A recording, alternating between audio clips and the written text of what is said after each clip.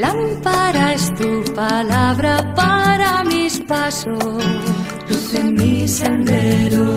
Lámpara es tu palabra para mis pasos, luz en mi sendero.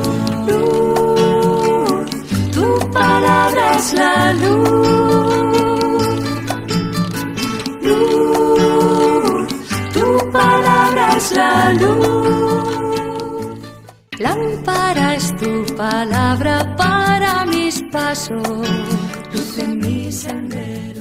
Saludo cordial para todos ustedes que nos ven en este espacio llamado La Biblia Palabra Viva. Les habla el heraldo del Evangelio, el Padre Raúl Rojas, de aquí desde la parroquia San José. Estamos viviendo el tiempo de Pascua. En este tiempo de Pascua es un tiempo de paso entre la vida y la muerte y la muerte y la resurrección de nuestro Señor Jesucristo.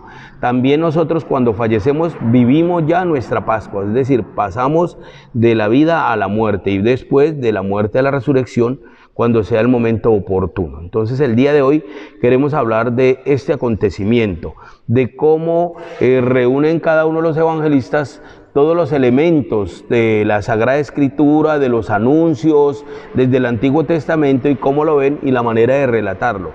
Por ejemplo, la pasión de Jesús duró pocas horas, pero eh, sobre ella se escribe hasta el detalle más mínimo, mientras muchas cosas de la vida de Jesús quedan en el silencio o en muy pocas líneas. Eso es lo que se hace, eh, lo hacen cada uno de los evangelistas. Cada evangelista tuvo una perspectiva. Por ejemplo, Marcos eh, habla del querigma, del anuncio, proclama la pasión como una realización del designio de Dios Padre. Es decir, Jesús cumple la voluntad del Padre porque Él es el Hijo de Dios.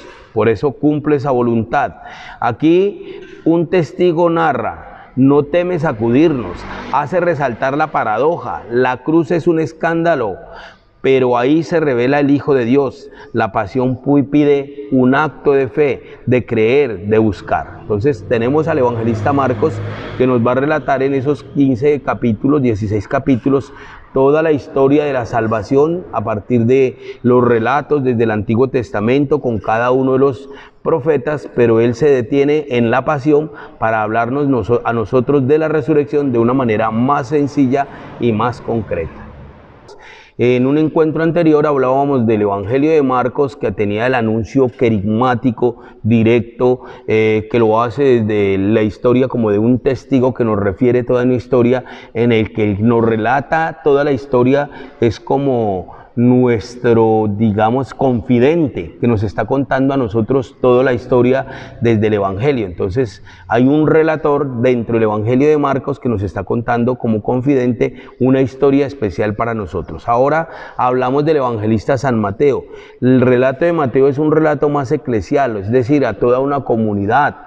Es una narración, narración que se hace a una asamblea de los creyentes que están con él y el estilo de Mateo es un estilo más claro, más pulido, es un hombre más esquemático, eh, le gusta mucho imponer momentos litúrgicos especiales y relee todas las cosas lo, la Sagrada Escritura desde la visión de Jesús, es decir, desde la visión óptica de Jesús, es el relee toda la Sagrada Escritura.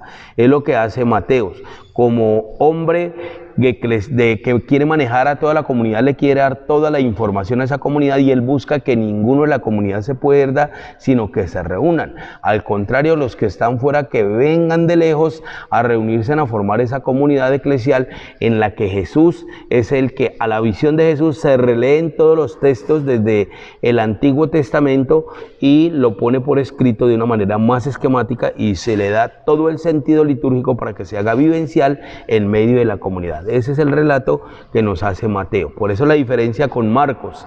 Es el querigma, una sola persona relatando, contando. Aquí es Mateo contándole a toda la comunidad y descubriendo desde la visión de Jesús cómo se cumple en él toda la historia de la salvación. Lámpara es tu palabra para mis pasos, luz en mi sendero. Lámpara es tu palabra para mis pasos luz en mi sendero. Luz, tu palabra es la luz. Luz, es la luz. Lámpara es tu palabra para mis pasos, luz en mi sendero.